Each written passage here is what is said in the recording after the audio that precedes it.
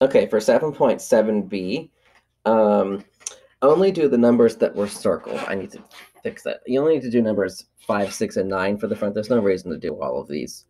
Okay, and 11, 5, 6, 9, and 11. Um, so you're trying to find all of the missing sides and all of the missing angles. Okay, if you're using, if you have two of the sides already, you can use the Pythagorean theorem to find the third side. Please write that in reduced radical form if possible.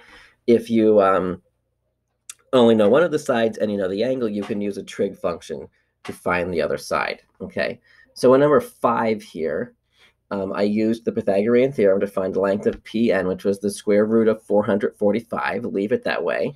Okay. To find angle P, I said, well, I'm given opposite over adjacent, so that's tangent.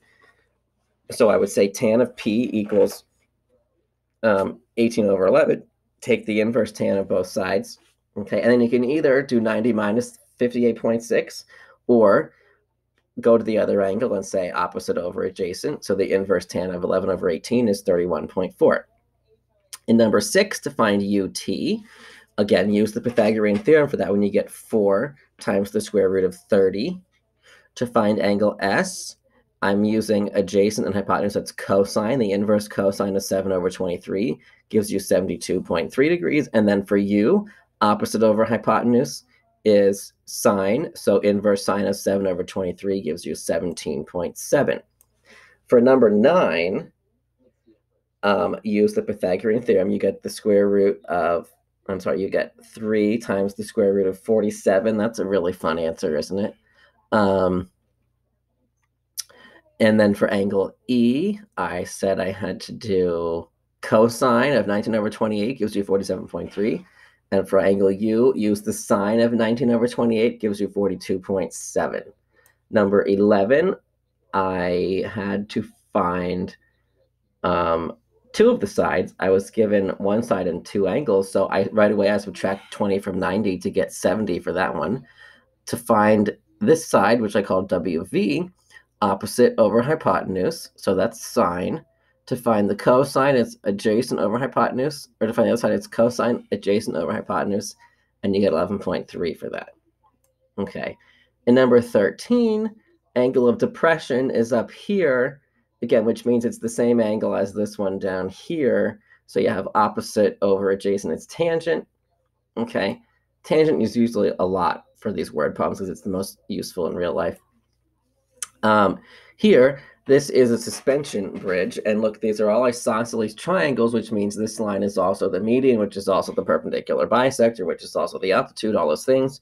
So all of these things are equal. So we have six of them. So find one of them by doing 52 divided by tan of 32 and multiply that answer by 6 to get 499.2 for that. 15 and 16 is talking about um, this ramp over here. So you have vertical rise, horizontal distance, the length of the ramp. Okay, it says that it must be less than or equal to 4.78 degrees. So they make a ramp with a 14 inch vertical rise and the ramp is 16 feet long. Exchange and model the same units. Okay.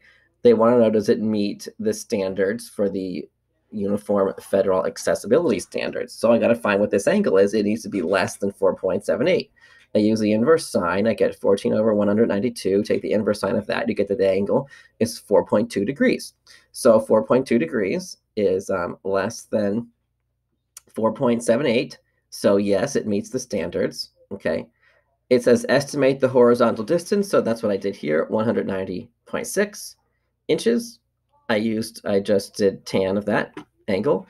And then it says you want to build a ramp with a vertical rise of six inches. You want to make sure that the horizontal distance is minimized. So that means you want to use the biggest angle you can, which is 4.78. So put 4.78 in here.